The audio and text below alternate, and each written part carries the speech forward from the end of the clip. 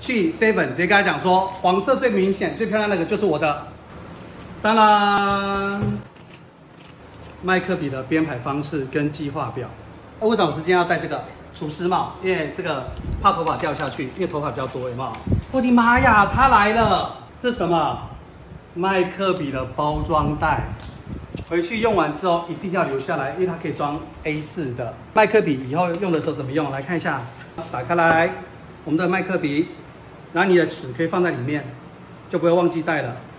折起来，所以以后你收到的麦克笔就是这样子的包装。你有没有觉得好看到你忍不住把它用剪刀剪下去，对不对？去 seven 直接跟他讲说，黄色最明显、最漂亮那个就是我的。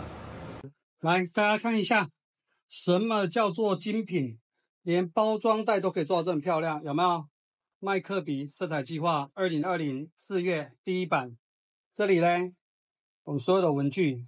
翻上来嘞，麦克笔的笔的位置，你去 Seven 可以拿这么漂亮的包装，